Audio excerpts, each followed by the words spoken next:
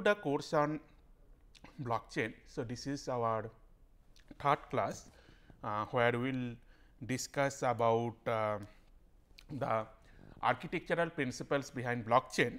So, in the last class uh, we have started discussing about uh, smart contracts.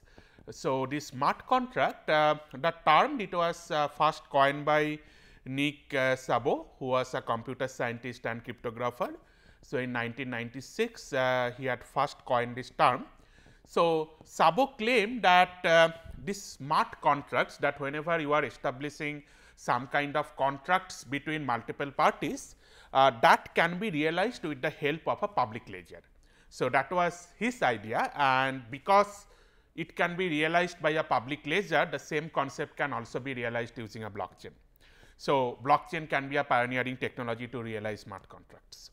So, let us uh, look into uh, this concept of contracts in a centralized platform uh, with an example of crowdfunding. So, uh, so there is some kind of crowdfunding companies like Kickstarter. So, Kickstarter works in this principle like uh, say you want to uh, execute some kind of interesting project, but you do not have sufficient money and this can be an individual or a group of people who want to execute some project, but they do not have sufficient money. So, what they do that they submit this project to Kickstarter uh, and uh, means Kickstarter type crowdfunding company and now there are multiple supporters uh, who can support with some small funds to that particular project. Now, the project can be executed by one or individual who have submitted the project proposal to Kickstarter and on the other hand you can have multiple supporters. So, these multiple supporters they can everyone can support with a small fund and the total fund that you are getting with that uh, help of that fund you can support that project or you can execute that project. Now, the task of this Kickstarter platform uh, is to ensure that when you are completing some milestone of the project you are getting that fund. So, uh, Kickstarter is ensuring that whenever some uh, supporters is providing with the fund, the fund is going to the intended project and as and when the project completes some milestone.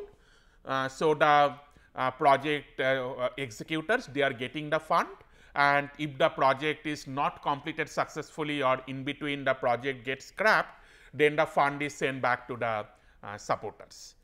Now, in this kind of architecture, uh, you need to have a kind of trust relationship. That means, the uh, product team they expect that their money to get paid uh, based on the project progress. So, whenever there is some milestone that has been reached, so they will be get paid by Kickstarter.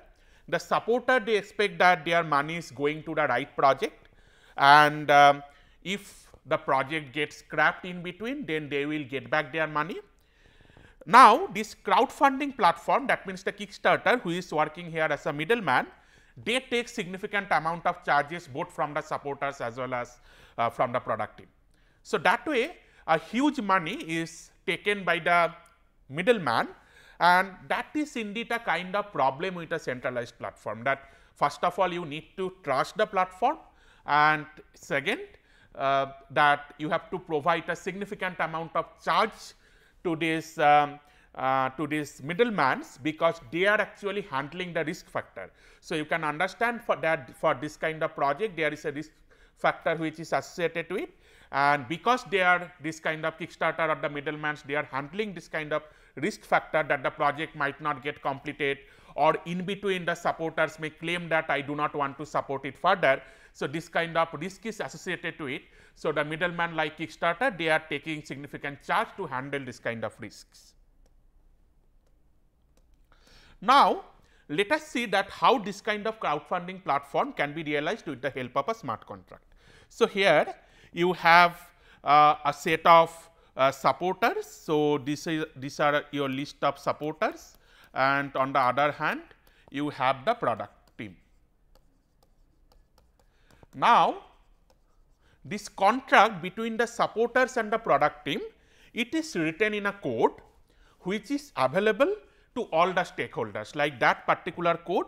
So, this code contains the contract. So, this is your contract and contract is made available to the supporters as well as to the product team.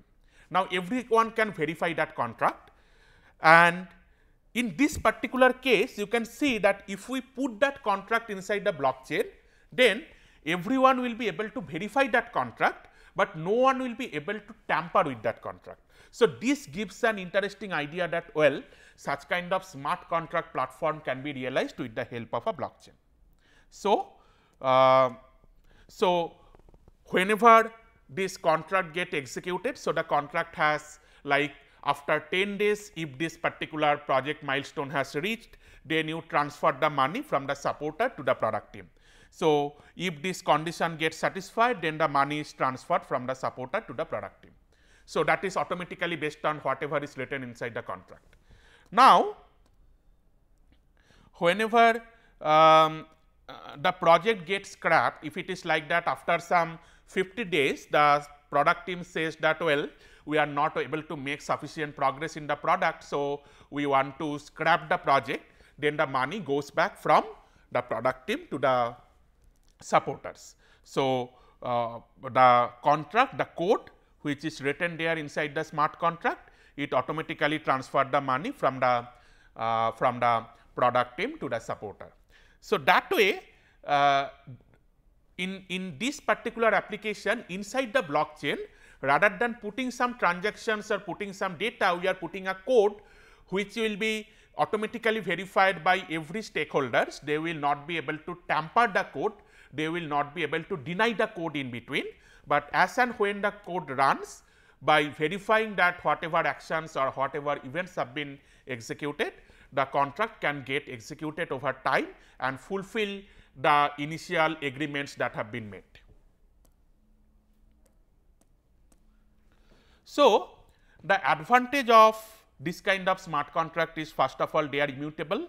That means no party will be able to change the contract once it is fixed and written to the public ledger like blockchain. Next it is distributed. You do not need a middleman like um, uh, this uh, uh, like this uh, say Kickstarter who is handling all the risk. Like your code will be automatically get executed and if you are not fulfilling um, your promise then automatically the code will execute some steps based on the contracts. And why the blockchain? Why blockchain is a suitable platform for executable smart contract? Because first based on the blockchain architecture, the blocks are immutable and the second the information is open. Everyone can check and validate the information inside the blockchain. So, there are multiple smart contract platforms like Ethereum, Hyperledger, Rootstock, Ripple. So, we look into the Hyperledger in detail. So, Praveen in his lecture he will explain the Hyperledger platform and how you can write smart contracts using Hyperledger. Well, now let us look into the blockchain in details, little details. So, first we look into what is there inside the block of a blockchain. Uh, so, which so to, to put some data in the blockchain, we want to secure the data and how a block is securing the data by utilizing the concept of cryptography. So, we will take the example of Bitcoin in this case uh, to explain you that what is there inside the block and how individual blocks are getting connected. So, these blocks uh, they are kind of they are containing the digitally signed and encrypted transactions which are already verified by the peers. So, you in, inside the block you can have uh, multiple transactions. So, these are the transactions which are verified by the peers and uh, these transactions are there in a encrypted format or it is it is basically signed digitally. These are digitally signed uh, transactions which ensures that the participants they can only view the information on the ledger that they are authorized to see.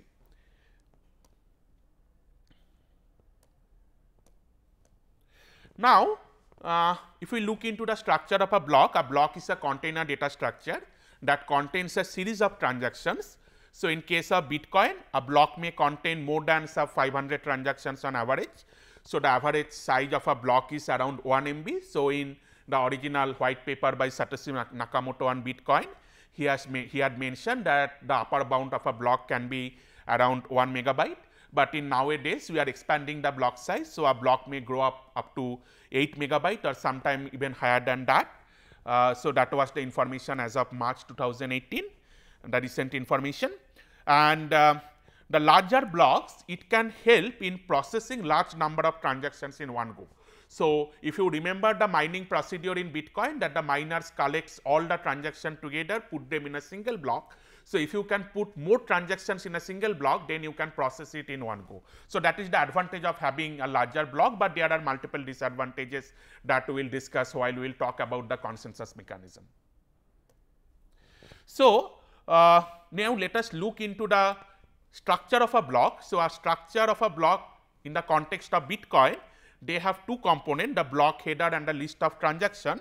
So, uh, this is an example that is taken from this website blockchain.info. So, if you go to that website you can see the current blockchain which is utilized to um, realize the Bitcoin money transfer. So, whatever block is there in the Bitcoin network you can see all the block blocks by going to this blockchain.info website. So, this is the information of a particular block with um, block number 500312 so, there are two part of the block, the first part is the block header. So, this is the block header and then there are a list of transactions. I have just shown one transaction, but there are a list of transactions which are there inside that block. Now, in the block header, so this blockchain as you know as I have mentioned that this blockchain is a uh, sequence of blocks which, which are connected by the hash of the previous block. So, H 1 is connected with the hash of previous H 0, H 2 is connected with the hash of H 1, then uh, this uh, H 2 is used to connect uh, H 3. So, that way uh, the hash functions actually construct a chain kind of structure. So, inside the block header you have this previous block hash which is utilized to construct the current block hash. So, here this is the previous block hash which is used to construct the current block hash then the mining statistics in case of Bitcoin that uh, some, some statistics about mining I will come to that point and something called a Merkle tree root which construct which stores the information or a or a hash value um, of uh, all the transactions which are there. Now, this previous block hash that means uh, in, in case of blockchain as we have mentioned earlier that every block inher inherits the, the uh, from the previous block that means, we use the previous block hash to create the new blocks. Uh, it makes the blockchain tamper proof. That means, if you want to make some changes say in this block that means, this particular hash value will get changed and you have to change all the subsequent hash values.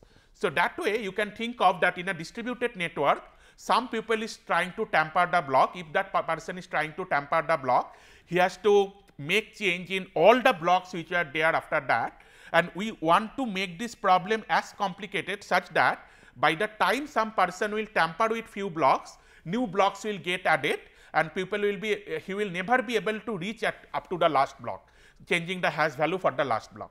So, that way we make it tamper proof the detail mechanism I will uh, discuss later on as we progress in the course. Um, so, this is just a kind of broad overview. So, the second field which is there in the block header is the mining statistics. So, the mining is to mechanism the generate hash. Uh, so, uh, in case of Bitcoin the hash function looks something like this.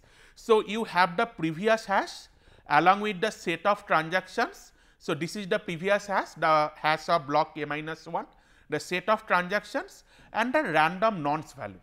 So, the task of the miner is to find out this nonce value such that they can ensure certain difficulty on this generated hash value.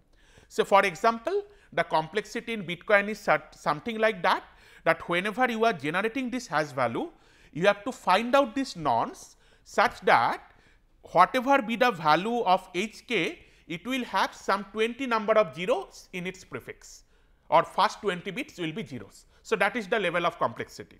Now, by the property of the hash function if hk is known you will not be able to find out this message, but if this message is known then only you will be able to find out hk. That means, what the miner have to do they have to change this nonce they will have to try with different values of nonce to find out that when that objective is met. The objective is that the generated hash value will have some certain number of zeros at the beginning. So, that particular thing that how many number of zeros you want at the prefix or at the beginning that is called the complexity of the mining algorithm. So, the complexity of the mining algorithm will tell you that you want this many number of zeros at the beginning and as you increase the complexity of the algorithm, you will require more time to find out this nonce value. Now, this header uh, blockchain header it contains these parameters, it contains a timestamp when that mining has been done, the nonce value which is providing the corresponding hash value and the difficulty or the complexity of the algorithm. The difficulty actually determines that uh, how difficult it was to find out uh, that particular nonce to meet the criteria of the complexity of having certain number of zeros at the uh, prefix of your hash value.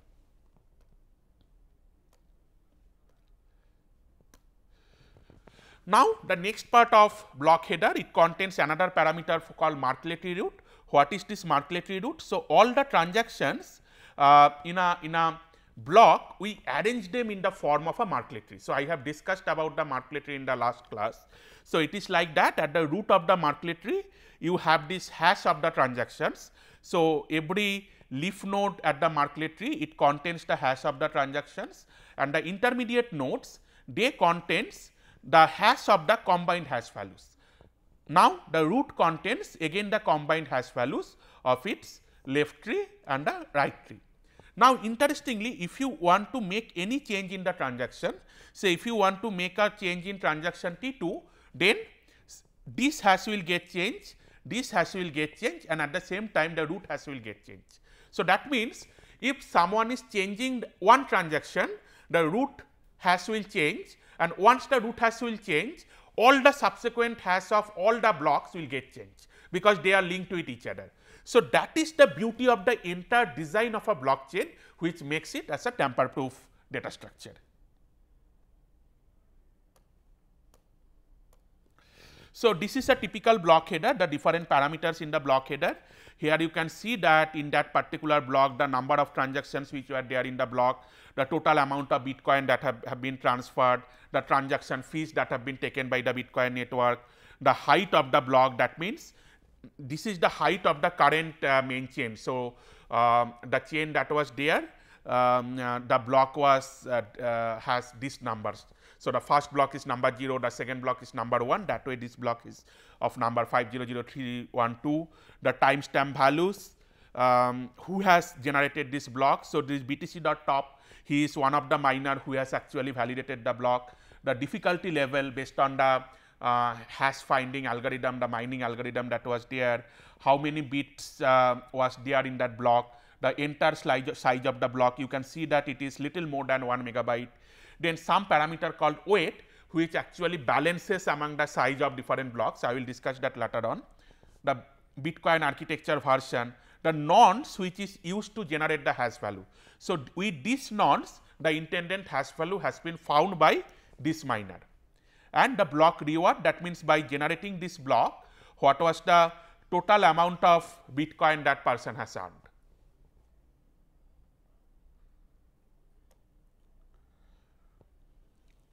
Now, okay.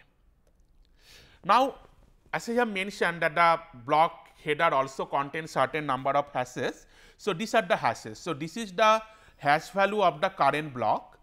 Now, this is the hash value of the previous block and if there are some next block it also contains the shows the hash value of the next blocks although this is not contained in the header and this is the value of the Merkle root. So, now, if you are making any change in the one of the transaction, the Merkle root get changed. If the Merkle root get changed, then the corresponding hash value will get changed. If this hash value will get changed, the next block hash value will get changed. So, that way everything will get changed and uh, attacker have to actually change the entire blockchain. And initially I have told you that the current blockchain size is around uh, 259 250 GB. So, uh, you have to make a change of that 250 GB of blockchain of size. So, the hash algorithm which is used to compute that hash it is a double SHA 256. I will discuss all these things uh, later whenever we go to the details of uh, this uh, mining procedure and uh, consensus algorithm. Now, the transactions in a block they are organized as a Merkle tree as I have mentioned and the Merkle root is used to construct the block hash. So, if you change a transaction you need to change all the subsequent block hash. So, the difficulty of the mining algorithm it determines the toughness of tampering with a block. Now, you can see that if a attacker wants to tamper with a block, he need to change the values of all the subsequent hashes. Now, if the difficulty is not very high, then it may happen that by the time a miner will add up a new block, a attacker can change the hash of all the blocks. That way the attacker may be successful. So, in this particular case, you need to ensure that finding out that particular hash value is as tough as uh, the, the attacker will not be able to change all the hash values in the uh, complete blockchain. So, these are the transactions uh, information inside the block. So, you can see that these are the users. So, um, so here it is not a transactions rather uh, this particular user got some amount of bitcoin by mining. So, that transaction is here. So, this is a valid transaction where this user has made a transaction to this user of uh, around 2.96 bitcoin.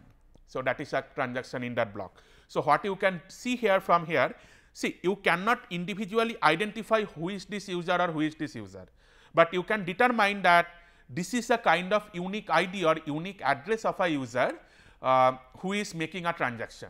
So, by looking into this transactions value you can validate the transactions and at the same time at the top you can see a hash value. This hash value is the hash value corresponds to this transaction. Now, all these hash values are combined in a Merkle tree and finally, Merkle root is added as a part of the block header.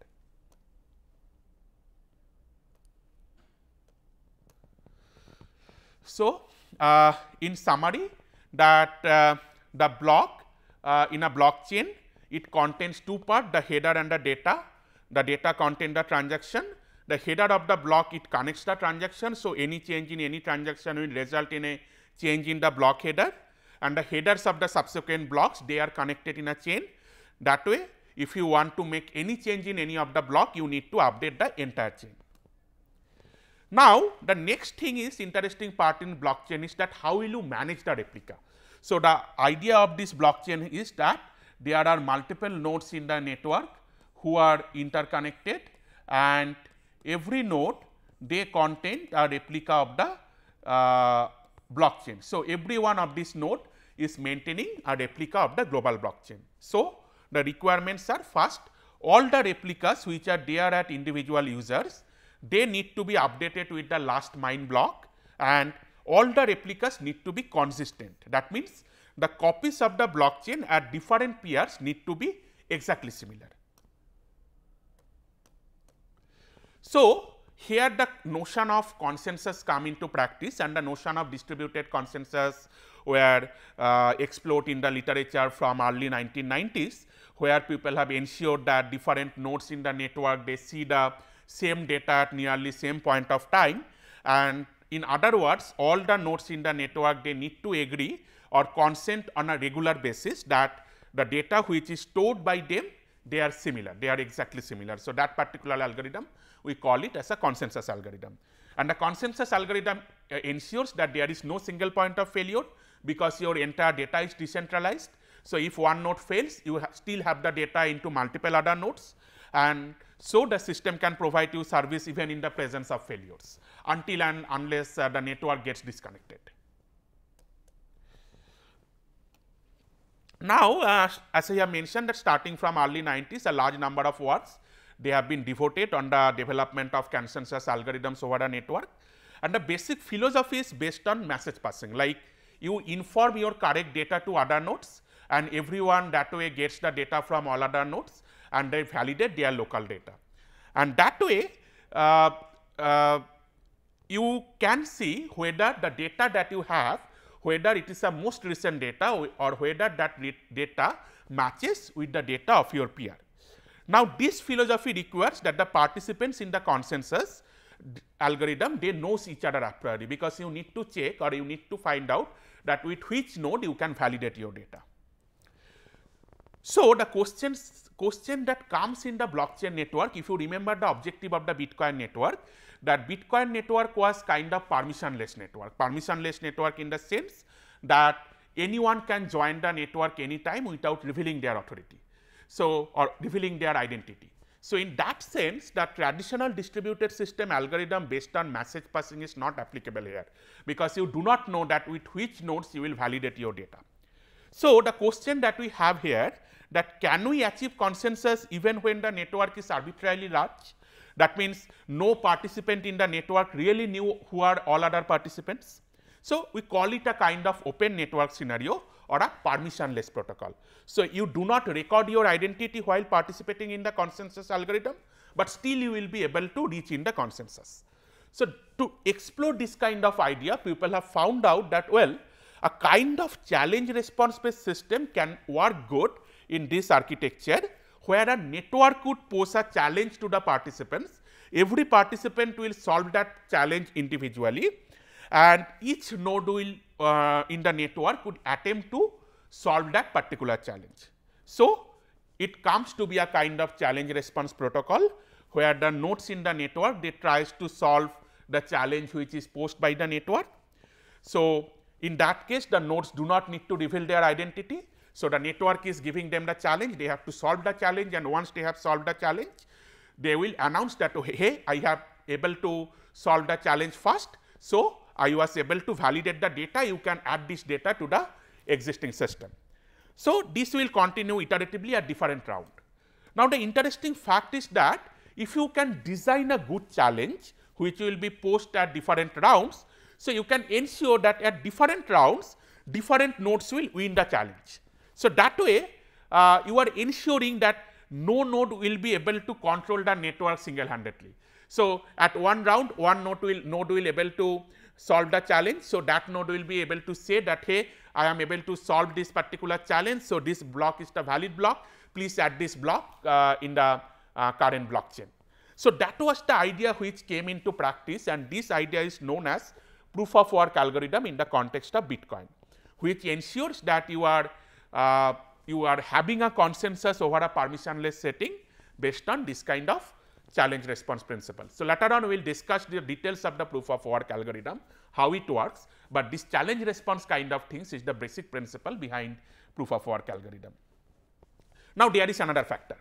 So, the participants they are solving the challenge that means they are uh, they are um, uh, incorporating or they are spending a significant amount of resources like computation power, uh, then time to solve that particular challenge and what is the benefit to them what is the incentive for the nodes, why they will participate in this challenge response algorithm. Uh, because only one will win in each round, but others they are also spending their resources. What would be the incentive for them? So, here comes the concept of digital money, which ensures the operational efficiency and it provides more level of controlling monetary policy. Now, in 1998, Wei Dai he published a concept called B money, uh, which is a kind of anonymous distributed cash system, which is we can say it is the mother of this concept of Bitcoin or cryptocurrency. So, a cryptocurrency is something like it is a cryptographic currency, there is no such physical currency. So, no one have to give the physical currency to a person, rather the network will generate that currency. So, that currency is beyond the control of the banks and the governments. So, what you can do that whenever the participants are uh, there in the mining procedure, the mining ensures that no node has the power to sabotage the network and gain the control. That is the good part of this cryptocurrency algorithm that no one will be able to hold the control of the entire cryptocurrency. Uh, so, that was the basic philosophy like there should not be one centralized node like a bank or a government who will control the entire monetary policy. At every round different people will able to add data to the blockchain and the computational effort expended by the nodes in achieving the consensus algorithm, they will be paid with certain cryptocurrency, which is generated by the network and managed by the network. So, that way there is kind of monetary benefit to the miners that if they participate in the mining procedure and if they devote their computational resource and time in the mining procedure, they will get certain amount of money in return. So, that is the economic things behind uh, this kind of uh, Bitcoin mining concept. So, the blockchain it is ensuring this currency is secure and tamper proof. So, in summary uh, there are multiple technologies behind blockchain and in this last 30 minutes I have given you a very quick overview of the entire thing. So, later on we will go to these individual things in more details. So, we have a data structure that means the distributed ledger which is forming the backbone of the blockchain. We have the cryptography and the digital signature algorithms which is ensuring the security and tamper proof architecture of this entire blockchain data structure. We have the consensus algorithm over a permissionless environment based on the challenge response scenario, where you do not require to reveal your identity, but still you can ensure that uh, whatever data which is there at individual nodes, they are correct data. And then the economy or the revenue model behind this architecture that it encourages the participant to join in the mining procedure and to validate that a block is a correct block. So, with this I will stop the uh, this particular 30 minutes lecture. So, many of the part of the presentation I have taken from uh, one of the nice uh, blog by Praveen. Uh, so, it was a blog in LinkedIn why so delirious about blockchain a technical overview. So, you are encouraged to read that particular blog. Uh, he has given a nice overview about how this concept of blockchain came into practice by exploring this different internal technical concept which is there behind the design. So, in the uh, next class uh, which is the last class for this week, we will discuss about uh, the different applications of blockchains and some internals about the bitcoins which makes it an interesting technology. So, thank you, see you in the next class.